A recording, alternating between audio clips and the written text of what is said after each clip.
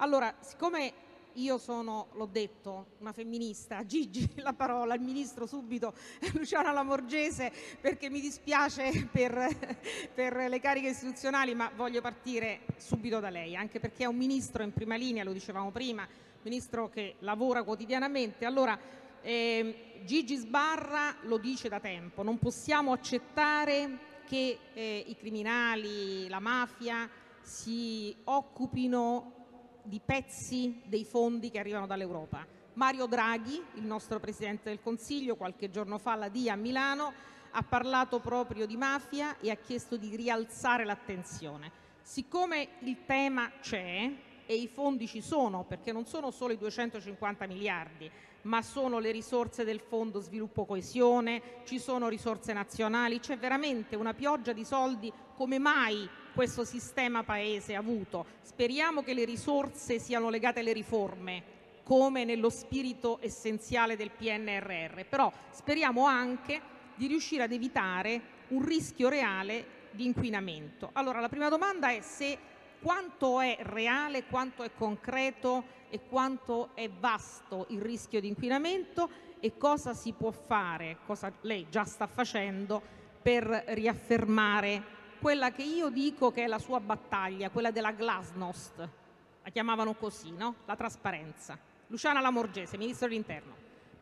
Grazie, consentitemi innanzitutto di ringraziare Luigi Sbarra, il segretario generale della CISL. Io ritengo che è stata una bellissima introduzione quella che lei ha fatto perché ha toccato dei punti fondamentali, ricordando anche i passaggi della nostra storia come Paese Italia. E ringrazio ancora una volta la professoressa Falcone con la quale abbiamo un eh, rapporto continuo, poi soprattutto in questi giorni abbiamo avuto varie manifestazioni a cui abbiamo partecipato eh, insieme. E da ultima, a parte il 23 maggio, dove la professoressa Falcone eh, a Palermo ha dato la possibilità a classi intere di ragazzi di partecipare a una manifestazione di ricordo, di celebrazione di quell'eccidio di Capaci. E secondo me importantissimo perché i ragazzi, parliamo di giovani che non hanno vissuto quella stagione e quindi soltanto con la memoria, soltanto con la presenza di tutte le istituzioni ai massimi vertici, probabilmente giorno dopo giorno è un concetto questo della, di sconfiggere la mafia, che la mafia comunque esiste, per, perché non dobbiamo pensare che nonostante la copiosa produzione normativa di questi anni, eh, abbia consentito di sconfiggere definitivamente. No, la mafia muta facilmente le proprie sembianze e il fatto che le muti noi dobbiamo seguire perché anche con nuova fisionomia comunque rappresentano un rischio per la nostra sicurezza, per il nostro Paese. E vorrei dire soprattutto in questo momento, quando abbiamo risorse del PNRR, risorse che verranno destinate agli enti locali, per cui ci sono progetti già in corso, abbiamo dei tempi stabiliti e non possiamo rischiare assolutamente perché i fondi del PNRR serviranno per il rilancio del nostro Paese e quindi è prioritario che vengano utilizzati bene e che vengano schermati dalle mafie e dalla criminalità organizzata. Cosa stiamo facendo noi? Noi stiamo facendo non certo da ora perché se noi consideriamo anche le modifiche che abbiamo fatto al codice antimafia proprio nel 2021 che è la prevenzione collaborativa ed è molto importante perché c'è l'esigenza di eh, non andare a incidere eh, sulle imprese che hanno avuto contatti occasionali con la mafia. Diamo un'opportunità tramite controlli da 6 a 12 mesi che verranno fatti in maniera puntuale. All'esito di questo periodo poi si deciderà se eh, l'impresa è giusto che venga salvata o se occorre procedere con le interdittive. I prefetti sul territorio stanno operando, io vorrei dire per esempio nell'anno nel 2020 eh, abbiamo avuto circa 2200 interdittive a fronte di 1500 e qualcosa del, dell'anno precedente e già ora noi siamo a 543 mi pare.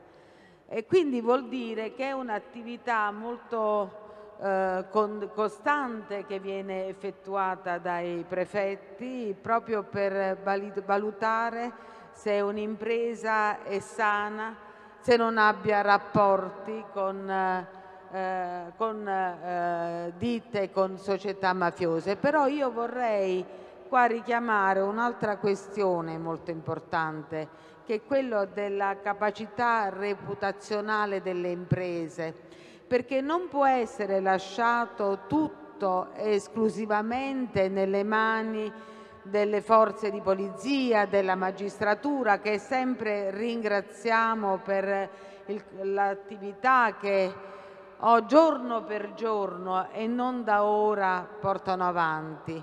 Ma sono anche le imprese stesse che dovrebbero adottare dei codici di comportamento, delle modalità organizzative che possano davvero aiutare l'impresa a crescere, ma a crescere secondo i principi di un'economia legale.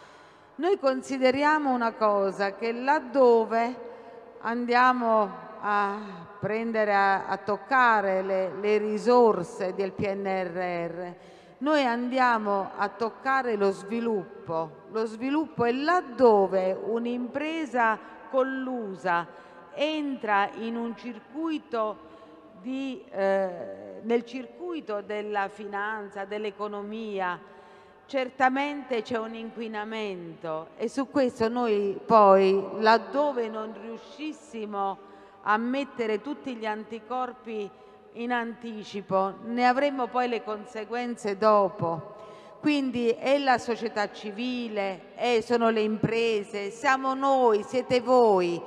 E allora io devo dire che eh, le organizzazioni sindacali mh, rappresentano un punto davvero di snodo. Io credo che noi dobbiamo rafforzare quelli che sono i rapporti di collaborazione con le organizzazioni sindacali perché eh, sono importanti anche per i messaggi che lanciano, tipo quelli lanciati oggi.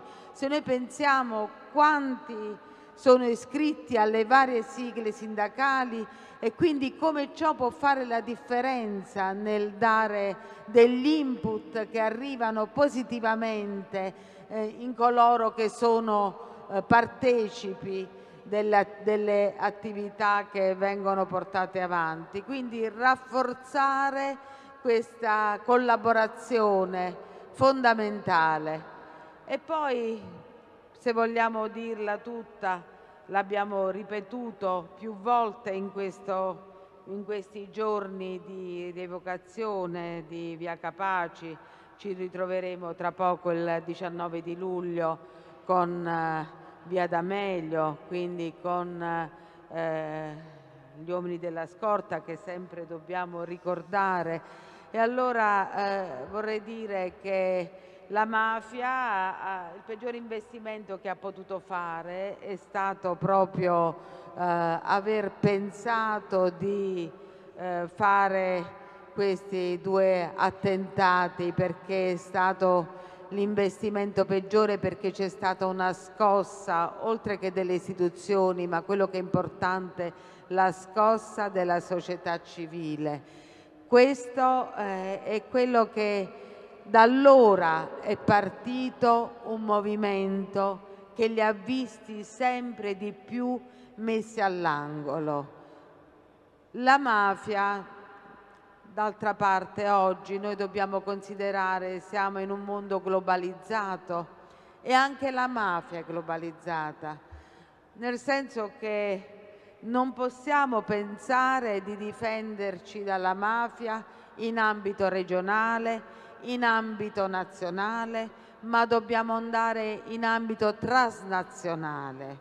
Ormai questo l'abbiamo intuito, basta dire che abbiamo accordi con i paesi dall'America ad altri. Quando eravamo l'altro giorno a Palermo abbiamo fatto un incontro con eh, ministri dell'America Latina. Quindi eh, un, sono progetti che stanno andando avanti, sono progetti che si nutrono anche del lavoro dei tavoli tecnici che portano avanti misure fondamentali per la legalità nel nostro Paese. E allora, eh, se vogliamo, il punto fondamentale è proprio questo, ma vorrei poi, ritornando nel nostro Paese, noi abbiamo un'altra piaga che è sempre connessa alla piaga della criminalità organizzata, che è quella del caporalato. Allora, su questo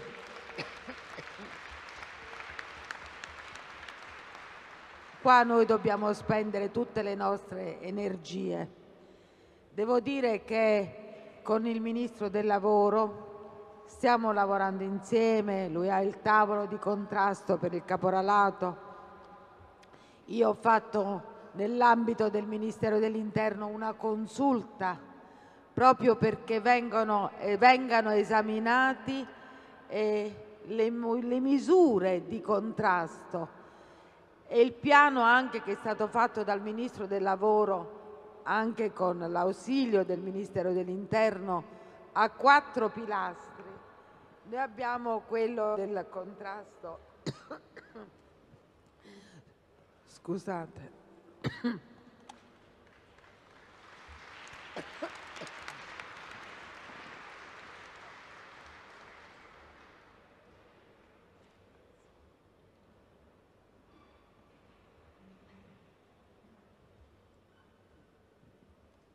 Meglio così. Allora abbiamo quattro pilastri che è quello del contrasto, del caporalato, di dare delle condizioni più umane. Voi pensate che la media della retribuzione è il 50% in meno di quello previsto nei contratti collettivi. Bisogna dare anche delle situazioni, collocazioni abitative che rispettino la dignità umana.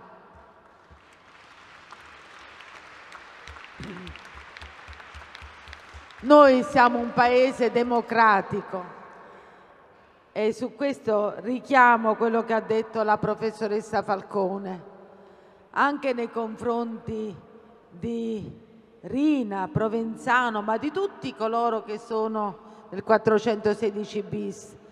Il nostro Paese non ha mai rinunciato a quei principi di democrazia che sono alla base del nostro Paese.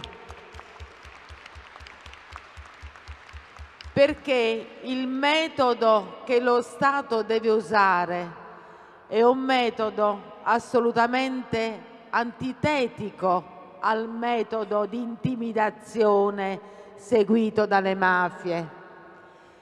Il nostro metodo è quello che ci ha dato Falcone, Borsellino, che è un metodo di intransigenza, di coraggio, coraggio delle scelte. Ecco, se noi seguiamo questi principi, la strada ce l'hanno tracciata loro, noi dobbiamo soltanto seguirla. E allora quello noi stiamo facendo anche per il caporalato. Voi pensate Borgo Mezzanone, Castelvolturno, noi abbiamo fatto dei progetti con i fondi FAMI, abbiamo fatto dei progetti con le regioni, la Puglia e la Campania, per lo smantellamento dei moduli attualmente di quelle condizioni invivibili, dando dei moduli abitativi e soprattutto se ne pensiamo anche il trasporto di, del, de, fatto dai caporali purtroppo è un punto nodale, su questo anche noi dobbiamo incidere e lo stiamo facendo. Noi nei fondi FAMI sono circa 30 milioni dal 21 al 2027, abbiamo già speso con i fondi PON legalità circa 43 milioni, stiamo mettendo in campo tutta una serie di attività. E vorrei ricordare da ultimo, pochi giorni fa, con il Ministro eh, Orlando abbiamo siglato un protocollo per inserire nel circuito lavorativo migranti che hanno la protezione internazionale. Perché? Perché noi dobbiamo cercare di accelerare i sistemi di approvvigionamento anche di manodopera da fuori, ma con sistemi legali. Certamente la situazione di quei paesi, e parlo della situazione dell'Africa, la situazione che abbiamo alle porte anche del, dell'Italia, il conflitto eh, ucraino con la, la Russia, il conflitto bellico, la crisi del grano, dei cereali, bloccati. Voi considerate che la Tunisia, che l'Egitto, i paesi del Nord Africa e non solo si riforniscono di grano e di cereali per il 50-60% dall'Ucraina e dalla Russia. E allora questo che cosa comporterà? Comporterà certamente, se non si mette un freno a questo, ma abbiamo visto anche il Presidente Draghi ieri ha avuto una telefonata con il Presidente Putin proprio per cercare di sbloccare ed evitare che cosa? Una gravissima crisi umanitaria una gravissima crisi umanitaria che, vista la situazione geopolitica anche di quei paesi, certamente andrà ad incidere sui flussi, i flussi migratori, il che poi non si potrà dire che è la Lamorgese che fa arrivare i migranti in Italia. La situazione, al di là di quella che è diciamo, la propaganda, va affrontata in maniera seria, va affrontata perché l'immigrazione è un problema strutturale da sempre, perché io ricordo quando noi italiani, gli italiani andavano fuori e poi noi abbiamo visto negli anni con la crisi delle primavere arabe ci hanno portato numeri elevatissimi. Io seguivo queste cose perché mia, nelle mie precedenti responsabilità, quindi è un problema che abbiamo affrontato da anni e certamente oggi ci troviamo dopo lo shock pandemico che ci ha provato enormemente e ha provato anche quei paesi, adesso ci troviamo ad affrontare un'altra gravissima crisi. Noi, nessuno di noi credo se l'immaginava di, di vedere una guerra così vicino a noi. E allora tutto ciò naturalmente ci deve far riflettere, ma deve far riflettere l'Italia, ma deve far riflettere l'Europa, deve far riflettere il mondo, perché io credo che il mondo che noi conosciamo probabilmente dopo questi due gravi momenti che tutto il mondo ha vissuto eh, dovrà, sarà diverso, dovrà rifarsi un poco, darsi, riprendere le misure. E allora è importante anche che ci sia un ruolo dell'Europa nell'affrontare un problema che è complesso, un problema strutturale. E io il 3 e il 4 giugno l'abbiamo programmato in quest'ultimo mese, faremo un incontro a Venezia con i ministri del Mediterraneo per affrontare insieme questi problemi che purtroppo toccano in prima battuta i paesi in prima linea. E voi, è certamente un problema che tocca l'Europa perché quando arrivano sulle nostre coste arrivano perché è il modo per arrivare in Europa e quindi su questo noi dovremmo certamente prendere delle iniziative come quelle che stiamo portando avanti anche in seno all'Europa, ai consigli europei dove abbiamo partecipato in questi due o tre anni in cui sono Ministro dell'Interno con gli altri Paesi per cercare di, di portare anche nell'ambito della Presidenza francese a un documento, speriamo che, di riuscire a, a chiuderlo, eh, proprio in relazione al patto migrazione e asilo di cui si parla da anni e che è fermo da anni. Quindi voglio dire tutto ciò che per dire che il, i problemi sono tanti, eh, i problemi che noi stiamo affrontando sono problemi che nessuno ha affrontato e si trovava e immaginava di dover, di dover affrontare in prima linea. Però io credo che facendo squadra ho sempre ritenuto che da soli non si vada da nessuna parte, che tutto quello che noi dobbiamo fare andando, avendo in mente l'unico obiettivo, che non può che essere un obiettivo comune, il nostro Paese. E quindi il titolo oggi di questo panel, legalità e lavoro, vuol dire legalità e sviluppo vuol dire lo sviluppo del nostro Paese.